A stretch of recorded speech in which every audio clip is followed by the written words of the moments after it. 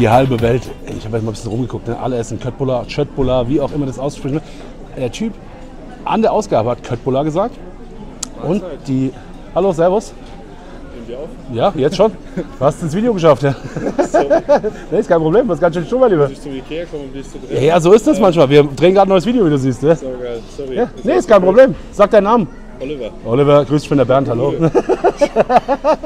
Was gibt's bei euch? Auch äh, Köttbullar oder? Ja, demnächst. Okay. Gleich. Ja, dann bin ich gespannt.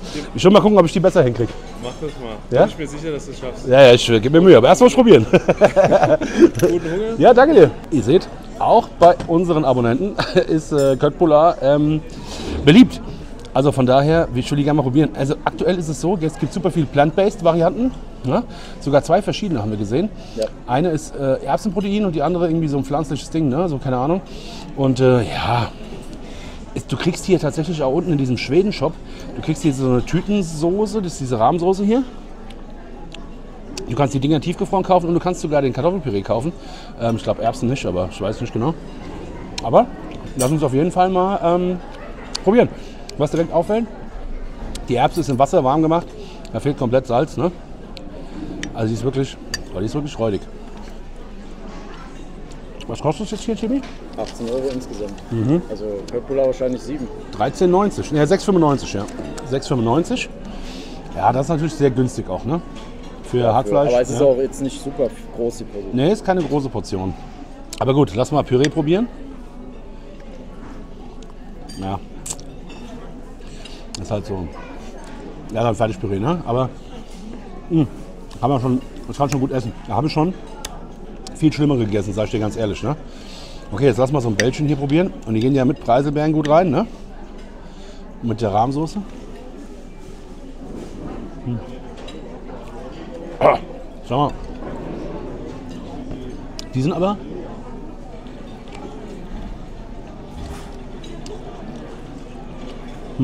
Anders.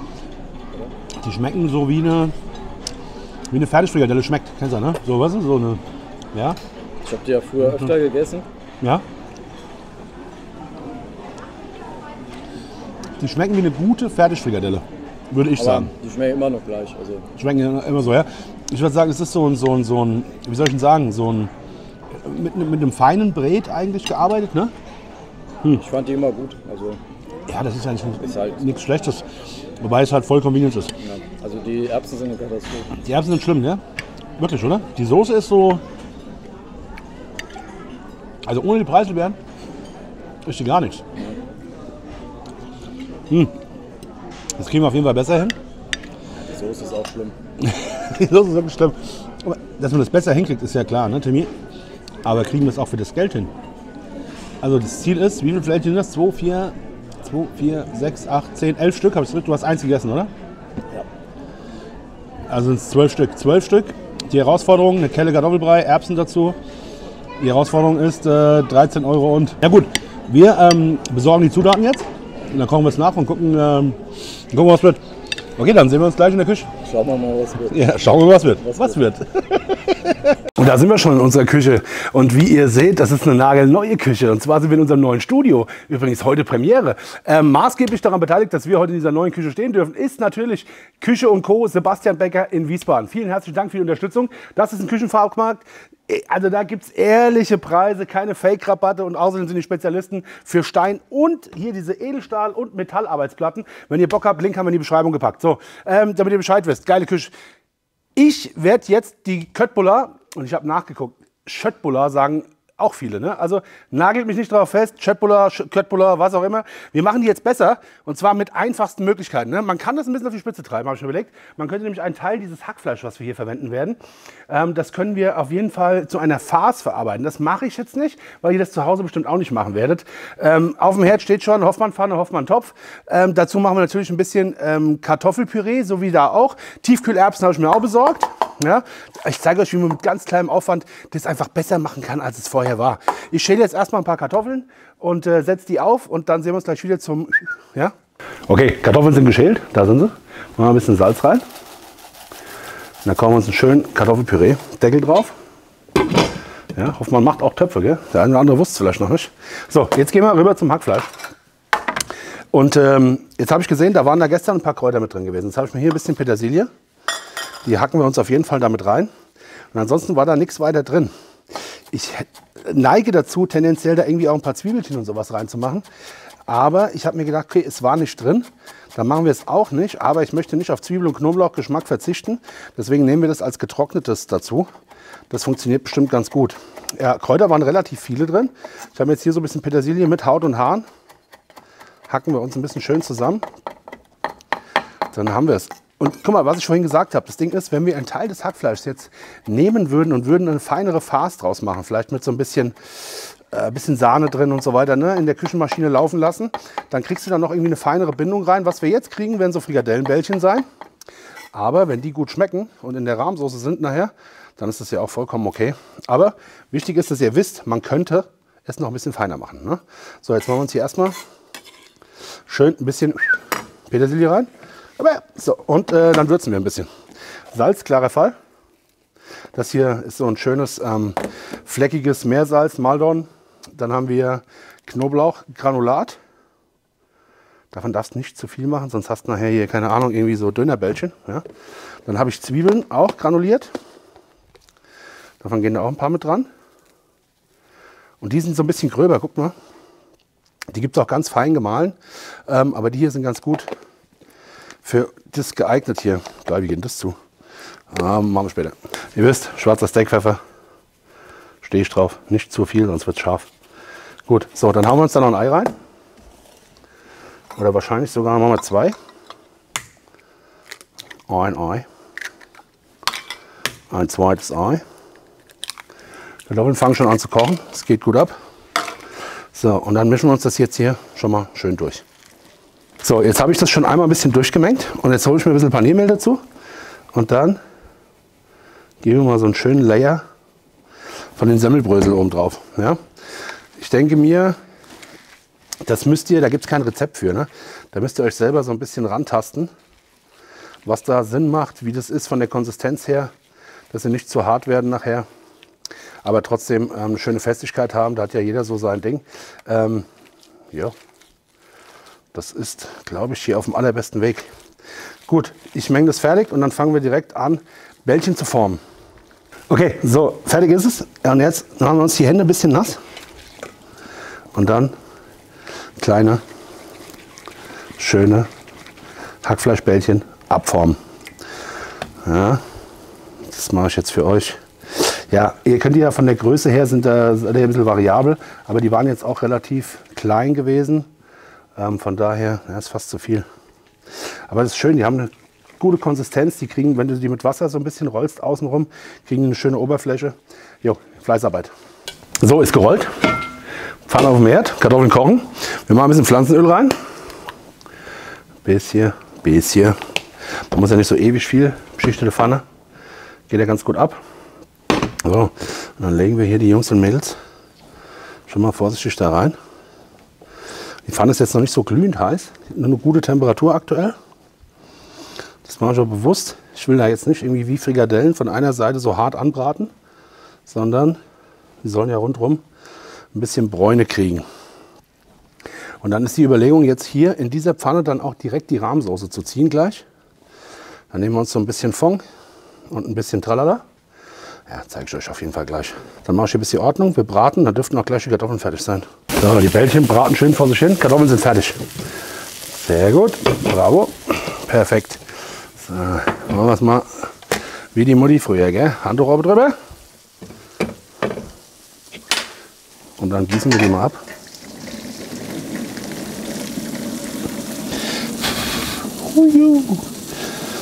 Wunderschöne Kartoffelchen. Kurz ausdampfen lassen.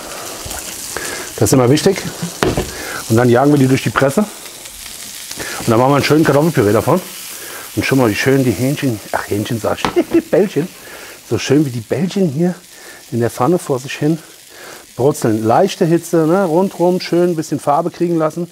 Und dann stellen wir uns die gleich warm und dann haben wir schon mal Geschmack in der Pfanne drin. Da gibt es dann ein Söschen. So, hier hinten schalten wir auf.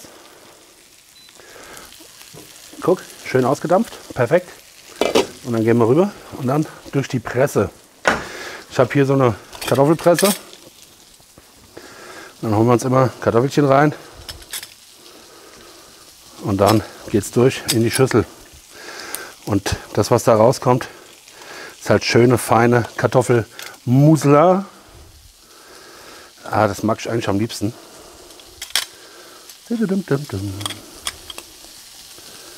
Jo, Kartoffelpüree habt ihr schon mal gemacht, gell? Leute, wisst ihr, so einfach ist es eigentlich. Ne? Es macht ja jetzt nicht großartig viel mehr Dreck, aber so ein Fertigpüree anrühren, das ist schon, weiß ich nicht. Weiß ich nicht.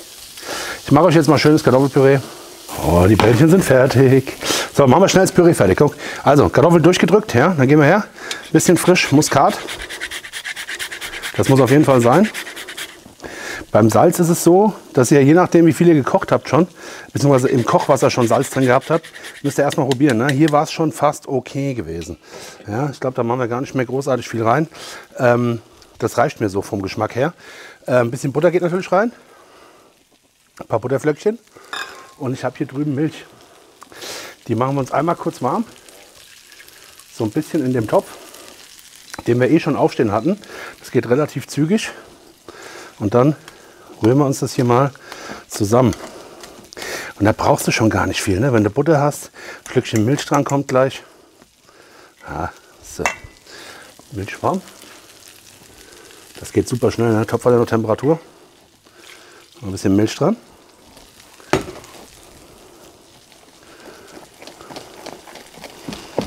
Und dann schön rausrühren. Schön Kartoffelpüree. Und das Ding ist halt, wenn man die durch die Presse gedrückt hat, ne, hast du halt wunderschönes, feines Püree. Kann man natürlich auch ein bisschen fester machen, wenn man es stampft. Ist alles okay.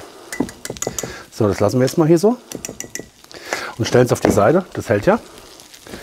Und dann gehen die Jungs hier, gehen mal kurz zum Warmhalten. Könnt ihr im Ofen machen oder ich habe hier so eine Wärmeschublade. So, jetzt geht es weiter. Zumachen. So, machen wir hier ein bisschen Tomatenmark rein.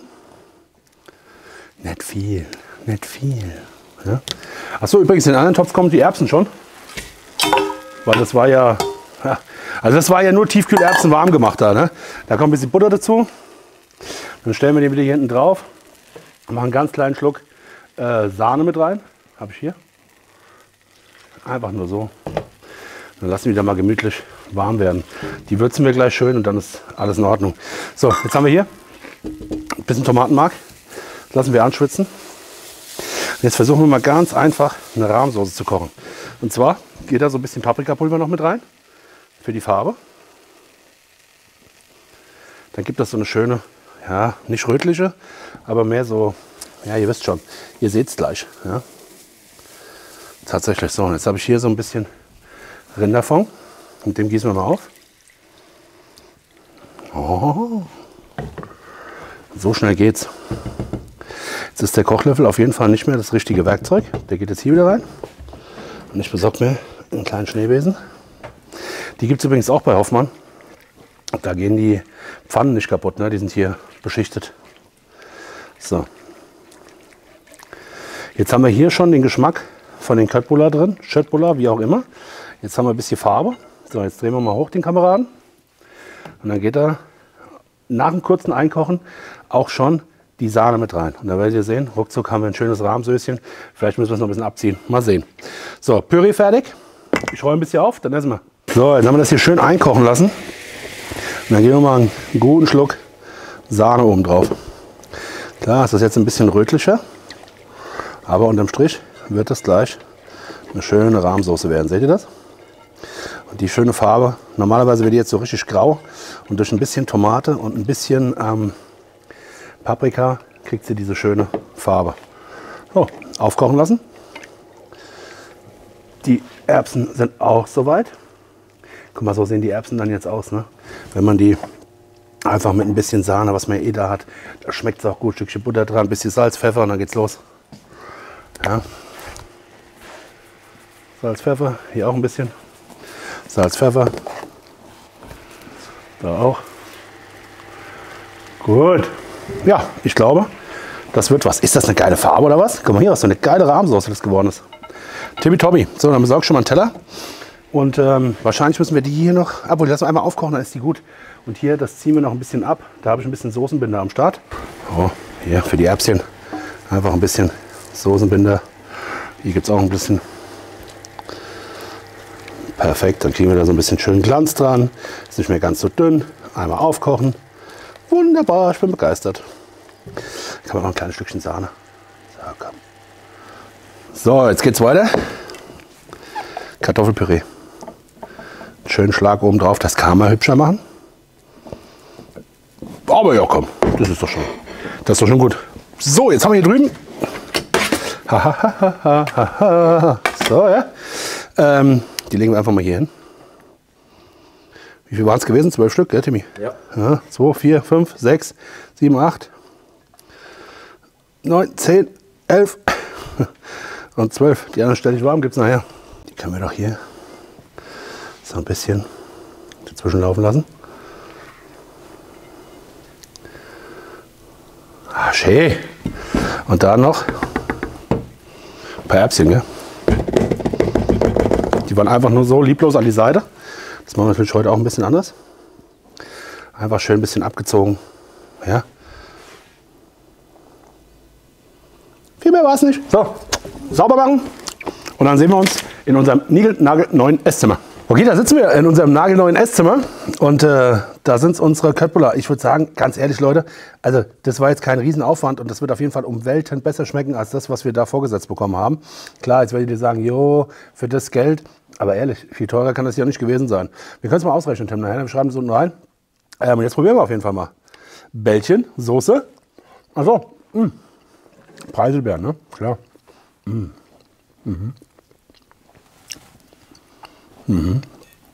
Preiselbeer, Rahmsoße, Bällchen, ein bisschen Püree. Die Rahm, also die Preiselbeeren, die machen es dann schon aus, ne? Ein bisschen Erbschen oben drauf, machen wir Perfect Bite. Mhm. Ich bin gespannt. Mhm. Leute, ich sage euch was, das ist auf jeden Fall nicht schlecht. Ähm, ja, ich bedanke mich fürs Zuschauen, wünsche euch noch einen schönen Sonntag. Ähm, wenn ihr wollt, gebt uns einen Daumen nach oben, schreibt einen netten Kommentar. Ähm, wir freuen uns natürlich drüber, wir lesen auch alles. Ja? Und äh, falls ihr es aus irgendwelchen Gründen noch nicht gemacht habt, hier unten links, da könnt ihr den Kanal abonnieren. Für uns bedeutet es die Welt, wir freuen uns drüber. Und außerdem sind wir auf dem Weg zu 100.000 Abonnenten. Und das 100.000 Abonnenten Spezial, das wird komplett geisteskrank. Das kann ich euch jetzt schon versprechen. Also Welle machen, äh, erzählt euren Freunden, Bekannten und der Familie von, hier, von diesem Kanal und äh, gebt Gas, wir essen. Tschüss, nachher.